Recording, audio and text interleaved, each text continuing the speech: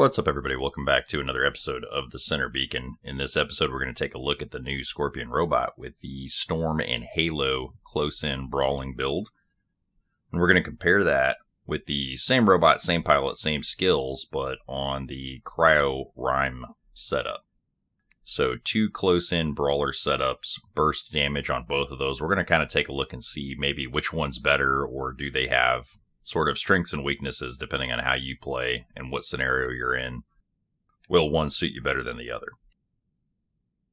Two or three of you, literally two or three of you, might have seen my video last week taking a look at the same robot, the Scorpion robot, and I compared the Storm build, the shotgun build, versus the atomizer build in case you were looking for maybe a mid range option with the 500 meter atomizers and Corker setup. I'll link to that video in this one. I'll put a little card up or something you can click on and kind of check that out if you're looking to see which build you'd like to invest in on your Scorpion. But that video kind of led to some questions about are cryos better than storms? Overall, I found storms to be better than the atomizer setup for my playstyle but it led to some comments and things that got me thinking about cryo. So I figured I'd do a video and we'd take a look at the differences between the two and how they perform both in testing and in actual gameplay. If you don't have the Iskra pilot for this thing, don't worry about it. I recommend Adrian anyways. There went the visual effects budget for this quarter, so I hope you guys enjoyed that. We're just going to do a couple quick rounds of testing here against a leech. You can see the cryo build on the left, the storm build on the right. All we're doing is translocating in and we're going to fire all of our weapons and the built-in weapon until the robot turns around and identifies a threat or until it's dead. The leech doesn't have much meat on the bone, so it was kind of a really close test, so I figured I'd go with something a little more tanky. I did the Fenrir here. The Fenrir has the Nicholas Wodenson pilot and basically all of the tanky skills you'd expect. So we're just going to sit here and try to chew through this thing as rapidly as possible. I just edit out the downtime on the ability recharge. That Fenrir also has three heavy armors. You can kind of already start to see that the storms definitely are dealing more burst damage. You can see we've already got the Fenrir down there. I don't think that was really in question, but I had a lot of people say that, like, oh, cryos are better and they're going to perform better. So that could be true. You are getting a damage benefit off of the cryo stacking up and freezing your target. So we're going to kind of put that to the test in the gameplay clip to come. However, I still prefer the storms and think it's the most bursty setup that you can get. So at this point in the video, some of you may be asking yourselves, did he just say most bursty? I'm going to tell you that I did not actually say that, and I will edit it out so you won't be able to prove it either, so don't even try it. This is why people don't make videos at 5 a.m. So this match ended up being a pretty decent demonstration of both these builds, the Cryo and the Storm build. I normally don't do uninterrupted gameplay just because I'm not trying to make you sit through like the little movie of my most recent match. I like to usually edit this stuff, but this was actually a pretty decent run or a pretty decent demonstration of this thing's abilities. So this initial guy right here, he was really kind of unsuspecting, not really prepared for what was coming at him with this new robot, and that kind of burst damage. The cryos worked great there, no issues. However, what develops in this game is a pretty cool 1v1 against me and whoever that fellow was. And, and also on that note, I just got to say, like, great job on this guy, this pilot here. This next little one versus one battle that we have is a really great solo matchup. It was kind of just him and I going back and forth over here.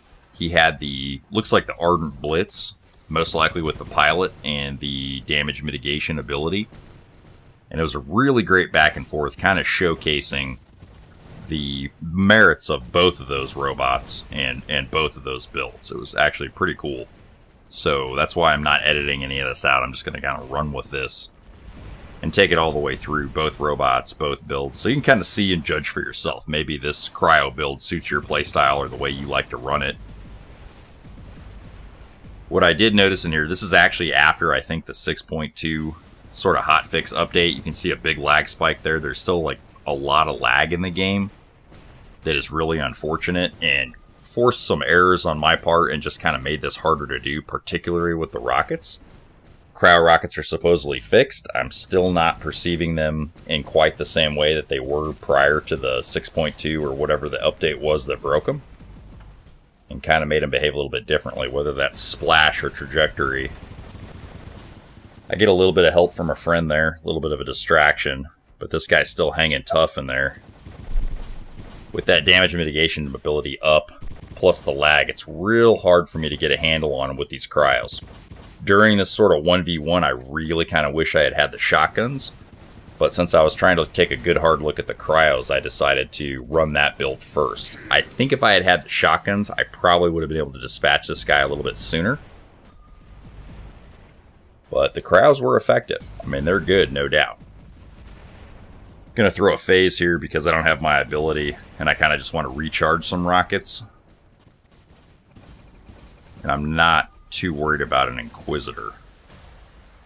So good fight so far over here on this part of the map.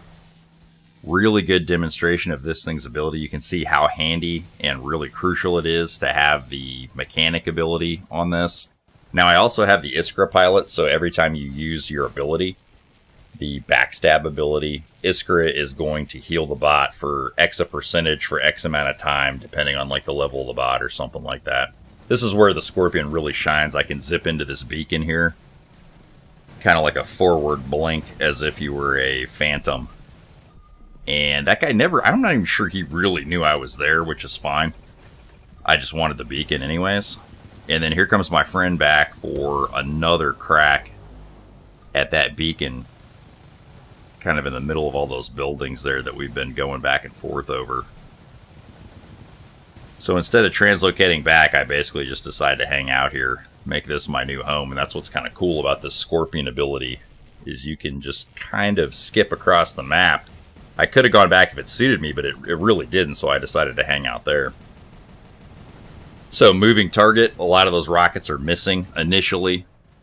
So a defense against this thing is just never stay static. Now that more and more of these are being introduced into the game, you're going to want to keep moving because even with rockets, and even though the translocation ability puts you point blank directly behind the target, a moving target still becomes difficult to hit, particularly with rockets. So try not to hold still in these games if you can, because more and more of these scorpions are popping out all over the place due to giveaways and popping up in those chests and stuff as a reward for the tokens and whatnot. Shotgun build now. The Halo simply has more damage than the Gust, so that's why I'm running it. You can't lock anything down with that single Halo, sadly, but it does do a little bit more damage, and that's what we're looking for here. With the pilot skills, again, the more I play these things, the more I realize that you don't quite need as many damage skills, perhaps, as I have on these right now. You could probably back some of those off in favor of speed, because both the cryo and the shotgun build give you plenty of damage, except for maybe like here with a Titan. That thing is... You're going to have a real hard time taking a big chunk out of that guy unless he's super under-leveled anyways. But don't be afraid to sacrifice a couple of the damage abilities to get some speed or maybe something else that you find useful for the pilot skills on this robot.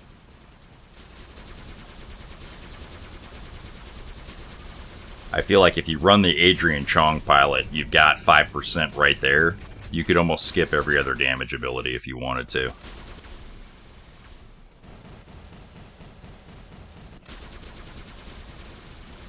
Titans in the center there, kind of hard to contend with with any robot. Got a kid coming at me here. I feel like the shotguns on a kid, probably a pretty good advantage on my part. So I'll try the ability here. Get in point blank right behind him. I think he already used his stove ability. You can see that lag popping up there again. Super unfortunate. Kill Stealer back there, but I'll forgive that guy for now. This game is pretty much well in hand. Got the beacon lead. There's my friend again and his Titan. Just uh, two Scorpions for this one. That's all I ended up using. Didn't really need anything else. Had a pretty decent team. I think it was pretty well balanced for the most part. Kind of hitting those guys at range there. This thing is really about wrapped up.